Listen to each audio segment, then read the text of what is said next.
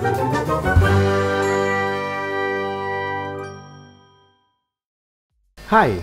kembali lagi di Neo Generation Dota 2. Video kali ini bakal ngebahas cara-cara buat melawan hero tanker atau hero yang keras.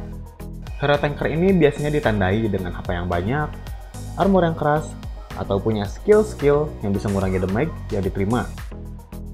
Kebanyakan hero tanker juga berasal dari atribut STR, meskipun tidak menutup kemungkinan bahwa hero tanker bisa berasal dari atribut lainnya. Kalau hero punya HP yang banyak atau armor yang keras, artinya hero itu bakal sulit dibunuh. Yang artinya lagi, mereka bakal ngeganggu di dalam war. Jadi, video kali ini bakal ngebahas cara ngelawan hero tanker. Sebelumnya, jangan lupa buat like, share, dan subscribe akun media sosial dari Neo Generation 2 ya. Kalau udah, lanjut ya pembahasannya. Hero Tanker adalah hero yang memiliki ketahanan tubuh yang lebih kuat dibanding hero lainnya. Hero ini biasanya berada di barisan depan dan menjadi samsak bagi musuh-musuhnya. Lebih bagus kan kalau Bristol Back yang maju di depan daripada Zeus? Karena hero tanker dapat bertahan hidup lebih baik daripada hero lainnya, hero ini bisa membantu tim lebih banyak saat war. Hero tanker ini cukup sulit dibunuh, apalagi jika draft musuh itu semuanya tanker mereka bakal jadi tim yang sulit buat ditaklukkan. Ada beberapa cara buat melawan hero-hero tanker. Tapi, perlu diingat bahwa counter ini bersifat situasional. Nggak ada cara yang paling baik buat melawan hero tanker. Yang pertama, armor reduction. Armor yang banyak bakal ngebuat damage yang diterima oleh hero berkurang. Semakin besar armor, semakin besar juga damage yang ditahan. Oleh karena itu, Kurangi armor hero-hero tanker supaya damage yang dihasilkan lebih besar. Pengurangan armor juga sesuai dengan carry yang biasanya mengandalkan attack right click atau serangan biasa, bukan mengandalkan skill.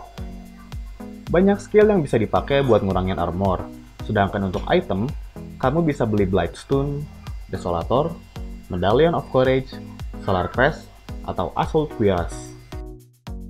Yang kedua, pakai skill yang damage-nya berdasarkan persenan HP musuh. Hero Tanker dikenal karena HP-nya banyak. Untungnya, ada beberapa skill yang damage-nya didasarkan pada persenan HP musuh. Jadi, kalau HP musuh semakin banyak, damage yang dihasilkan juga semakin besar. Yang ketiga, movement speed slow atau stun. Hero Tanker itu spesialis dalam menahan serangan musuh. Konsekuensinya, ada kemampuan lain yang diambil dari hero tanker. Kelemahan yang biasa dimiliki oleh hero-hero tanker adalah movement speed yang lambat. Hero tanker berada di barisan depan untuk menerima serangan musuh, kemudian kembali lagi ke tim untuk membantu peperangan. Kalau mereka nggak dikasih kesempatan buat kembali ke tim mereka, hero tanker yang bertugas untuk menerima serangan ini nggak terlalu berguna. Yang keempat, prioritas target serangan. Udah dibilang kalau hero tanker itu sulit dibunuh.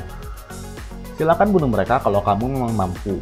Tapi kalau kamu kesulitan, mending bunuh musuh yang lain duluan, baru melawan hero tanker di akhir war. Hero tanker nggak akan terlalu mengganggu kok kalau dibiarin karena tugas utama mereka cuma jadi hero yang nerima serangan musuh atau cuma jadi samsak. Kalau musuh nggak nyerang hero tanker, ketahanan badan mereka pun bakal sia-sia. Yang kelima, ada beberapa hero yang gue rekomendasiin buat melawan hero tanker. Rekomendasi ini dilihat dari kemampuan hero dan situasi yang dihadapi. Kalau ngelawan hero yang HP-nya banyak, pakai Life Stealer, Kropos, Enigma, Zeus, Tuskar, dan Elder Titan. Kalau ngelawan hero yang punya armor banyak, pakai Fang Full Spirit, Shadow Fion, Slardar, dan Dazzle. Kalau ngelawan hero tanker yang punya build Radiance atau punya aura, pakai Darkseer atau Shadow Demon. Kamu juga bisa pakai hero-hero yang punya kemampuan unik tersendiri, seperti Ancient Apparition, Terror Blade, Anding, atau Timber Saw. Kesimpulannya, hero tanker adalah hero yang dikenal karena tubuhnya yang kuat dan mampu bertahan hidup lebih lama di dalam war. Tubuh yang kuat ini berasal dari HP yang banyak armor yang keras, atau punya kemampuan khusus seperti damage reduction, regen, atau kemampuan lainnya. Hero ini biasanya maju terlebih dahulu, sehingga bisa menjadi sasaran empuk untuk diserang, tetapi justru akan mematikan kalau kamu salah perhitungan. Cara-cara yang dijelaskan dalam video ini bisa menjadi referensi kalau kamu ngelawan hero tanker.